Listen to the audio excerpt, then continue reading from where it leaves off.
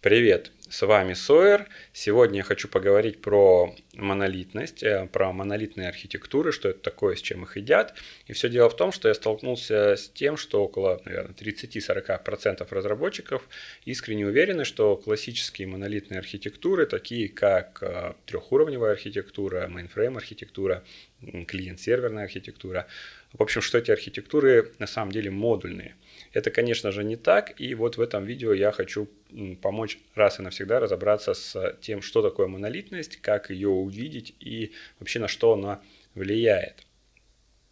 Нужно отметить, что а, обычно разработчики э, работают на уровне кода, то есть у них нет задач построить архитектуру всего приложения или системы. Поэтому монолитность для разработчиков, она выглядит э, в несколько ином свете, чем для архитектора. Но в любом случае монолитность в программировании, в архитектуре означает наличие сильных, жестких, неразрывных связей. Именно эти связи объединяют компоненты э, программы или приложения и тем самым формируют монолит. То есть, если в приложении есть жесткие сильные связи, то это и есть монолитные связи. И если все связи приложения жесткие, ну и, соответственно, э, у нас э, невозможно отделить одну часть программы от другой, не нарушив ни одну из вот это и есть монолит. Но монолит на уровне кода, на уровне приложения э, проявляет себя по-разному. Начнем с того, что в программировании, в архитектуре э, всегда есть э, разные задачи проектирования. То есть программист, проектируя свой код, отталкивается, как, правильно, как правило, от функциональных задач, то есть от бизнес-логики приложения, которую нужно реализовать. Архитектор же, наоборот, работая на уровне приложения, больше думает о нефункциональных задачах, ну, таких как э, отказоустойчивость, нагрузоустойчивость, а, и другие характеристики, связанные с надежностью работы программы. Также архитектор думает о тиражируемости, масштабируемости, ну и других свойствах. Поэтому с позиции разработчика монолитность, она такая вредная вещь, потому что она ему сильно мешает. И если разработчик смог а, в своей программе избавиться от каких-то сильных связей, от сильного зацепления, то есть уменьшить монолитность кода, он э, сразу испытывает облегчение, потому что это выливается в облегчение работы, в облегчение внесения изменений.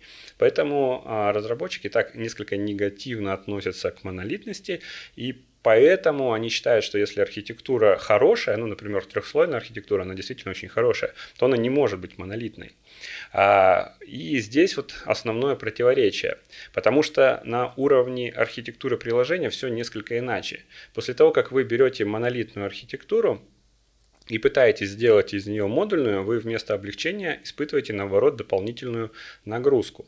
И нюанс в том, что модульные архитектуры подразумевают управление связями. Ну, то есть мы жесткие сильные связи, которые у нас есть э, в архитектуре, заменяем на управляемые связи. Это обычно различные там, распределенные транзакции, э, маршрутизация этих транзакций, или event-based архитектура, или message-based архитектура. Ну, в общем, архитектуры, которые подразумевают управление связями, где мы можем ослабить, убрать связь или э, динамически ее а, настроить. И все дело в том, что на уровне кода сам язык программирования дает нам возможность управлять э, связями, управлять зависимостями.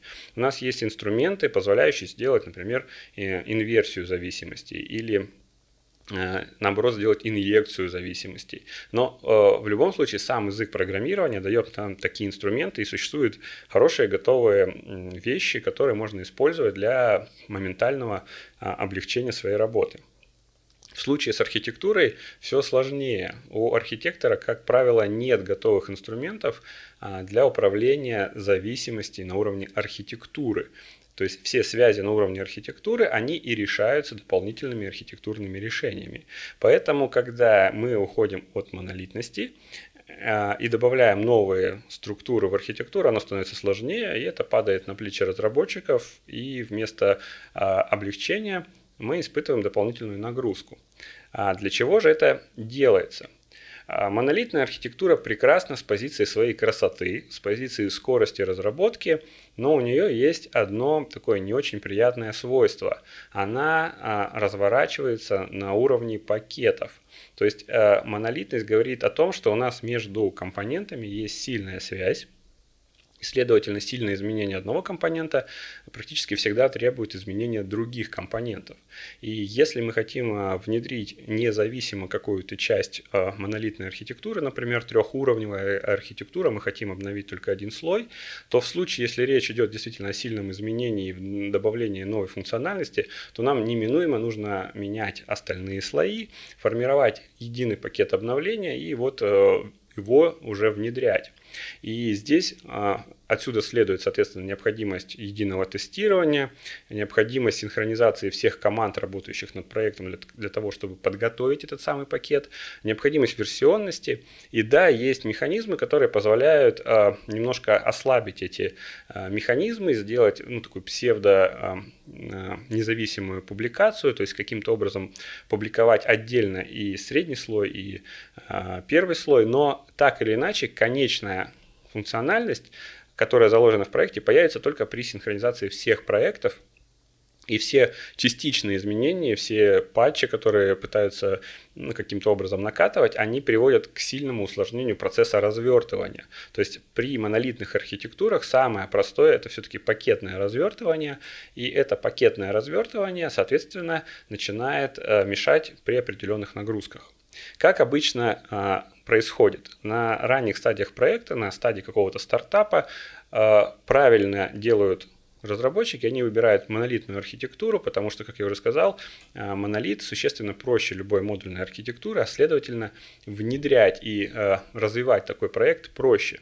На небольших нагрузках, а, естественно, никого не особо парит развернуть один пакет на одной ноде там, раз в месяц или раз в две недели, в зависимости от частоты обновлений, и это достаточно просто. Далее по а, мере развития проекта происходит а, увеличение количества пользователей или количества нагрузки, количества данных, которые нужно обрабатывать. И, естественно, команда сталкивается с тем, что это нужно как-то масштабировать данную монолитную конструкцию. И первое, что приходит на ум, это вертикальное масштабирование, то есть когда накидывается дополнительное количество ресурсов на одну и ту же ноду. То есть у нас есть одна нода, мы ее, на нее ресурсов накидываем, либо у нас несколько нод, на каждый слой своя туда мы докидываем ресурсы, но так или иначе вертикальное масштабирование рано или поздно упирается в предел масштабирования. И что возникает э, у нас? Правильно, у нас возникает опять необходимость каким-то образом а, горизонтально уже улучшать нашу, наше приложение. Тогда принимается решение, как правило, поставить а, какой-то балансировщик нагрузки и дублировать средний слой. Да, если мы говорим про трехслойную архитектуру, средний слой дублируется целиком. То есть мы не разбиваем наш монолит на куски, мы просто его тиражируем целиком. Понятно, что при определенных размерах проектах это вполне возможно. Мы все еще можем достаточно быстро его тестировать, мы все можем достаточно быстро в него внедрять изменения и тиражировать его э, целиком. То есть это избыточно, это э, в, некотором, в некотором смысле не совсем идеально, но это работает. И вот только когда мы доходим до ситуации, когда э, средний слой тиражировать бессмысленно, потому что у нас э, тормозит база данных, мы начинаем применять механизмы, опять же, не к модульной архитектуре уходим, мы начинаем э, различные механизмы э, распределения базы данных применять, например, шардинг. Да, и усложняем э, не архитектуру, усложняем приложение.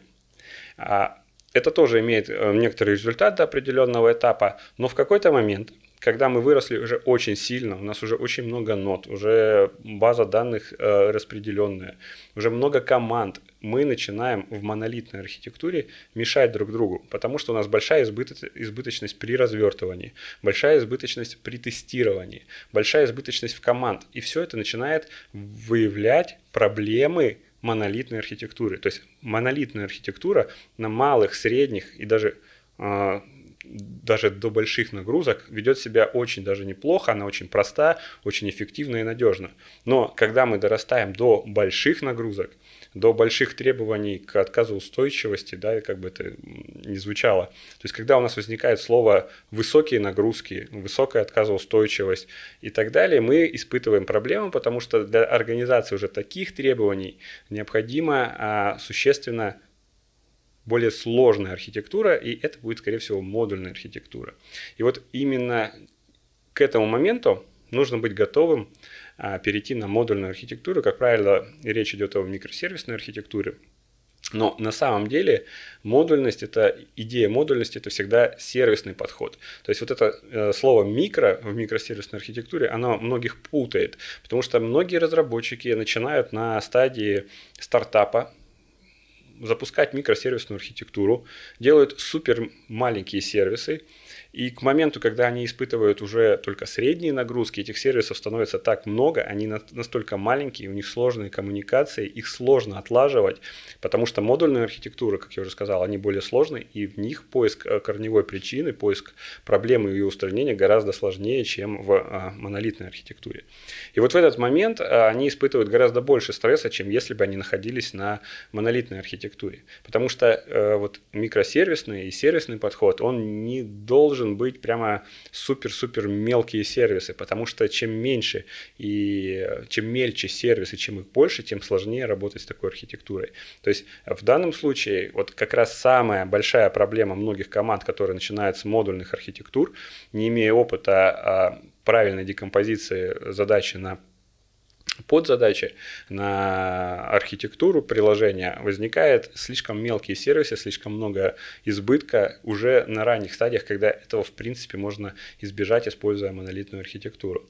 Поэтому а, я хочу еще раз подытожить. Монолитные архитектуры отличаются от монолита на уровне кода тем, что они а, монолитны с позиции развертывания, с позиции наличия жестких связей, то есть мы не можем убрать а, произвольный компонент из этой архитектуры, не нарушив связи, не потеряв а, общую функциональность, включая как а, а, общие требования, как функциональные требования, так и нефункциональные требования.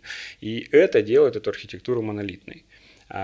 Монолитная архитектура влечет за собой единые, единый механизм развертывания, единый пакет развертывания, единые механизмы тестирования, потому что мы тестируем все целиком ввиду жестких связей, мы не можем независимо все тестировать, либо это будет приводить к тому, что мы будем иметь недостаточное покрытие тестов. И монолитные архитектуры прекрасны тем, что они простые, они легко а, на, на начальных этапах развиваются, в них легко вносить изменения, они понятны и прозрачны. И только когда мы доходим до очень больших архитектур, мы, а, точнее, для очень больших нагрузок, мы можем говорить о модульной архитектуре. И вот здесь возникает, а, например, а, тот же микросервисный подход. На уровне кода монолитность это зло, потому что зацепление между классами, между модулями и так далее ведет к тому, что вы ограничены и испытываете затруднения в внедрении новой, новой функциональности и изменении существующей функциональности. И на уровне кода для разработчика это однозначное зло. Но на уровне архитектуры все меняется. Взгляд архитектора на проблему заключается в том, чтобы определить способ а, работы команды над проектом, а, определить вектор развития архитектуры, куда она пойдет, как она будет развиваться, определить возможность заменять и модифицировать компоненты архитектуры. самое главное, а, определить способы ее масштабирования горизонтального и вертикального. Поэтому, наверное, самым грамотным подходом а, в работе с архитектурами это начать с монолитной архитектуры, дорасти до тех нагрузок, когда это становится проблемой, и перейти плавно на модульную архитектуру. А, вот как-то так я бы охарактеризовал монолитность архитектуры на уровне кода и приложения. Надеюсь, вы узнали что-то новое. С вами был Сойер. Спасибо, что слушали. До свидания.